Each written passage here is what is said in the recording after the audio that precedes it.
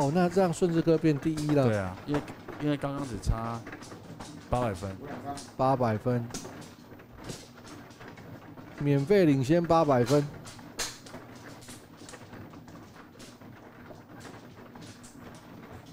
顺治哥的手牌非常之后，你甲看见？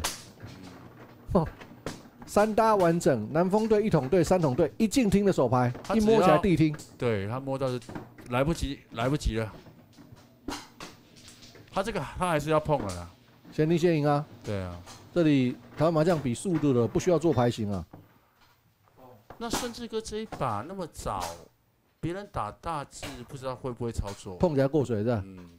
南风不知道会不会操作？我觉得不会啊，因为好像从第一将到现在都没有没有任何一个人过水。是，我我觉得啦，而且就像伦哥说的，在领先者没有必要性的时候，是不会去做极极限操作。他过不过都 OK 啊，因为他哦不能过了。哦，下家永北四公分都出来啊，紫旗四公分哦，紫旗四公分哦，而且他看起来有像臭一色，超级像啊。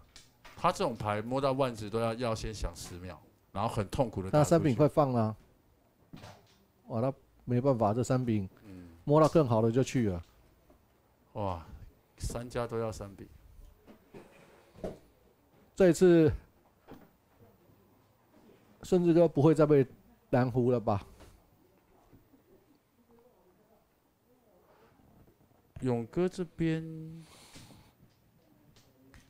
打二筒两进，南风是不是无人？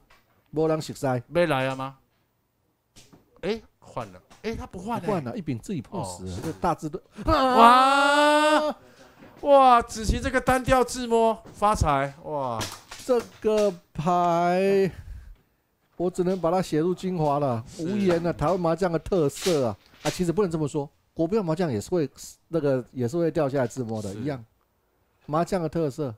哇，那那这个自摸可惜有点可惜，顺治哥。顺治哥很可惜，漏到下家去。这想说他应该是留不住了，这个三筒留不了几手。